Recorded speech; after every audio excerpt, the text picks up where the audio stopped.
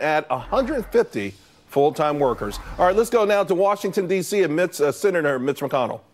Good afternoon, everyone. Um, I've brought with me Chairman Shelby to uh, make a statement about the agreement that's been reached.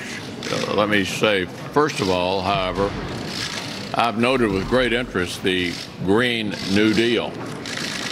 And we're going to be voting on that in the Senate. We'll give everybody an opportunity to go on record and uh, see how they feel about the Green uh, New Deal. Uh, secondly, with regard to the matter that's before us now, um, I think Chairman Shelby and the Democrats on a bipartisan basis have done a good job. Uh, from a Republican point of view, there is money in there for new barrier fencing, and there is no cap on interior uh, enforcement. It's not everything the president uh, hoped to get, but I think it's a good step in the right direction.